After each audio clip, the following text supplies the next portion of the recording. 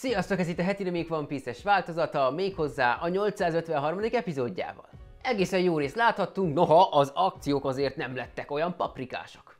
Helyette a kitartáson, illetve a halálfélelmen volt a hangsúly, amit remekül tettek a képernyőre. Katakurnak a technikái ezúttal is nagyon jól néztek ki, és kifejezetten tetszetősre sikeredett a tengervíz. Naminak a sírása teljesen elrabolta a közönséget, de persze szót kell ejtenünk arról is, hogy mennyire fanszervízes volt ebben a részben. Jimbei pedig elárulta nekünk, hogy mivel szoktak játszadozni a halember gyerekek néha napján. Mivel a hajó felégetése fenyegeti a hőseinket, Luffy megpróbálja megmenteni a Sunnyt, de már késő. Ég a szekrény, ráadásul Katakuri is visszatámadott. És olyan jó volt ez a sok lábas akciózás, mintha egy csapat akarta volna egyszerre megrúgni a hősünket. A lövés sorozat azóta se állt le, és most is Chopper, illetve Brock próbálja megállítani azokat a golyókat.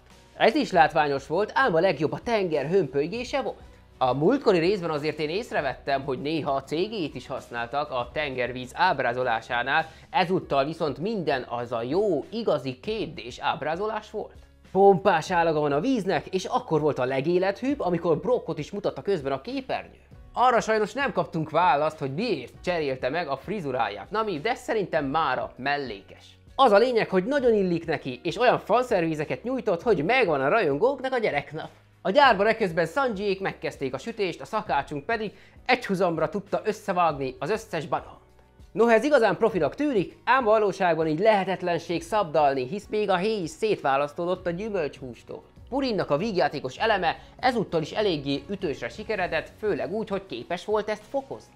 Vérzett az orra, pont úgy, mint a fiúk esetében, tehát a hölgyek izgalomba jövése is kifejezhető ilyen módon. Persze láthattunk már példát erre korábban is, de azokban az animékben általában lány izgult rá a lányra.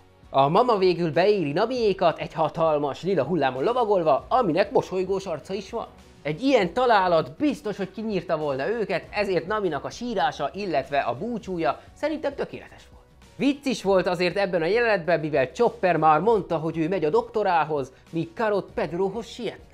Brock ellenben nem mondott senkit, nem akart ő mondjuk a korábbi legénységéhez sietni. Lehet, hogy a készítők elfelejtették ezt a csapatot, mert igaz, hogy elég régen szerepeltek ők már. Jimbeinek hála azonban mégse kell ide a temetés, egy kézzel tartja a kormány, és bevezette a hajót a hullámba. Mi csak itt zöldet láttunk, így én arra számítottam, hogy valamilyen halemberes varázslat lesz itt. A hajó ilyen bolygó hollandis változatot fog majd kapni, és bemennek a víz alatt, így majd tudnak a víz alatt menni a hajóval, de így is jó lett, mert a csoda így is megvan. A hullám közepén lehetetlen megmaradni, mert ez a csőrész, ami a hullám megcsavarodásával jön létre, ez csak ideiglenesen létezik, utána a víz visszaáll a lecsapódás végeztével. Katakurék abban a hitben vannak, hogy Luffynak a legénysége oda lett, de tévedtek. Nagy meglepetésükre történik egy tükörtörés, mi pedig akkora fanszervészt kapunk Namitól, hogy ez hűha tér. Ki kellett őt takarni, mivel a bugyját mégsem mutathatja meg, Hát igen, azért itt nagyon sokat kellene egyeztetni, hogy például egy One Piece szintű shonen történetben fehér neműt tudjunk mi látni. Valamiért ezt a One Piece féle shonen animék tabunak tartják, pedig simán beleférne. Különösen azt figyelembe véve, hogy például Bikiniben is láthattuk már a szereplőgárda nagy részét. Az epizód végén Luffy egy elképesztően jól sikerült átható tekintetet produkált, ami azt jelenti, hogy még nem adta fel. És mivel megérezte azt, hogy a barátai veszélyben vannak, bizonyára fel akarja pörgetni magát. Ha nektek is örömteli volt a Nami fanszervíz, azt osszátok meg kommentben a videó alá. Illetve arra is feleljetek, jó se, hogy a One Piece-ben nem lehet bugyit villantani. A következő részben visszatérünk a Luffy vs Katakuri küzdelembe. Véletőleg egy igen drága epizódra számíthatunk.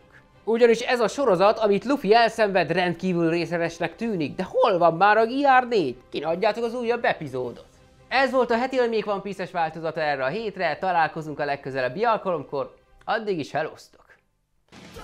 Ha tetszett a videó, lájkold, kommentelj és iratkozz fel, és keresd a csatornát a további tartalmakért.